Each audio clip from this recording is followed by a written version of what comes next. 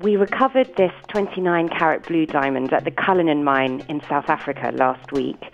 Cullinan is an underground block cave mine and it's currently operating at around 730 meters below ground.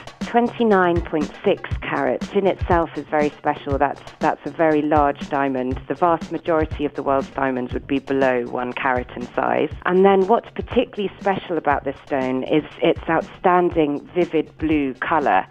So with blue diamonds, they can tend to be on the grey side. And when you have this incredible saturation of vivid blue, then you know that you have a really top quality stone. Blue is one of the most rare colors of diamond. So most people working in the diamond industry, for example, would never even have seen a blue diamond. They're so rare that we don't have any official statistics on their discovery rates.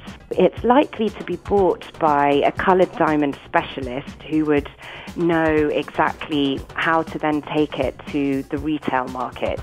Um, obviously, something of this nature is extremely valuable. In fact, it's very difficult to put a price on it because it is so rare. We had a sale of a 25 carat blue diamond, so just a little bit smaller than this one, um, in April last year, and that sold for $16.9 million.